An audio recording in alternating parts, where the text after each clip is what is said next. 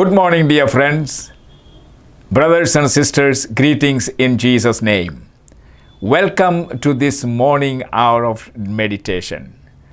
And it is good to begin with God and listening to His voice. And so, during these few minutes of meditating on God's Word, I pray that the Holy Spirit will enlighten you, strengthen you, and encourage you, and uh, you begin the day with the new confidence in the Lord Jesus Christ. Today's meditation is based on the book of Romans, chapter 5, verse 10. Let me read it for you what it says. Chapter 5 of Romans, verse 10. It says, For if when we were God's enemies, we were reconciled to him through the death of his Son, how much more, having been reconciled, shall we be saved through his life? And my friends, what I want to share with you is Christian life is a twofold life. Christian life is a twofold life. Many of us see only one facet of life. Jesus saves, for example, Jesus saves. Now, what do you understand by this phrase? Missing hell and getting into heaven. That is one facet. And the second facet is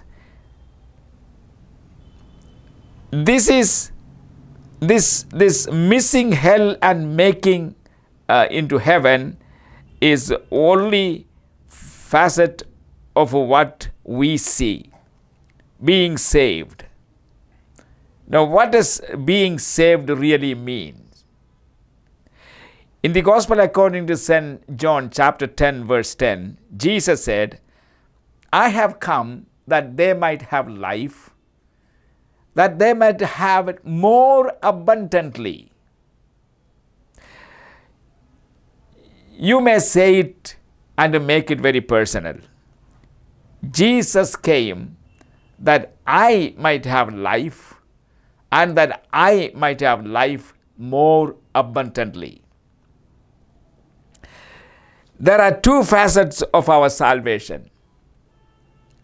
And that's what we see in this particular verse. In the one, we have life, and in the other, we have more life or fullness of life, overflowing life, or abundant life. These are the two facets of life. In the one, we have life, and in the other, we have life overflowing. But some have life and no more. They are uncomfortable and carnal. Such people have only uh, existence. They exist to perish. They have life but do not enjoy the blessing.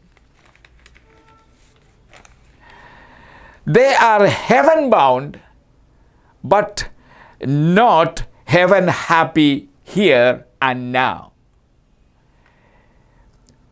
For them, that heaven happiness and abundant of life and enjoyment are all in heaven after we get there. That is not the reason Jesus came. He came for something more. Jesus came not only that we might have life, but uh, the manner in which we have it. Many people have a life but some people have it more abundantly. Now, I ask you this question which do you have? Do you have just a life? That is the first facet. But how about the other part? More abundant life, for which Jesus Christ came. And another fact that we must consider from this passage, Romans 5:10 is reconciliation and a saving life. The first one we considered is life and life overflowing or abundant life. Now we have these two words reconciliation and life, saving life. In the work of redemption, there are two works the death of Christ and the resurrection of Christ.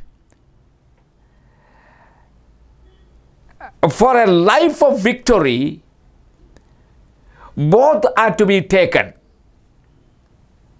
We cannot enjoy complete life and victory by accepting only one the death of Christ. Because of the death of Christ, we have atonement. And it is through that atonement we have reconciliation. But we need more than that. We need a new life, a new dynamic in order to live this new life in Jesus Christ.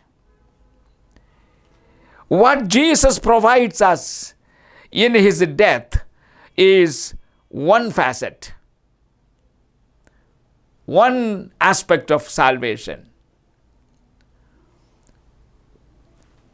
But then there is also resurrection, life, and it is through the resurrection we have this overflowing life flowing into us. What he provides in his life is another matter altogether. In his death, we have reconciliation.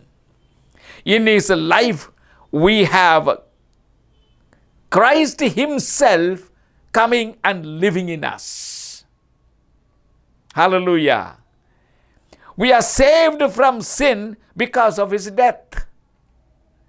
And we are saved from self because of Christ living in us. We have reconciliation and we are on our way to heaven. That is one facet. We have victory now, and thus we have a heaven in us because of the presence of Christ within us now. Where Christ is, there is heaven. And so, we who are reconciled to God we cannot be satisfied and enjoy the fullness of life that Christ brought through his death and resurrection, but then we need to have the resurrection aspect as well. And we not only uh, to be reconciled, but then we also must live a victorious life. That now that victory is ours.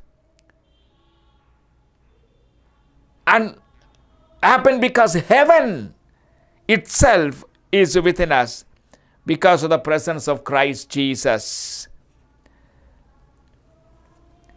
What is true Christianity? True Christianity is explained by the Apostle Paul in Colossian letter, chapter 1, verse 27, where he says, to them, God has chosen to make known among the Gentiles the glorious riches of His grace.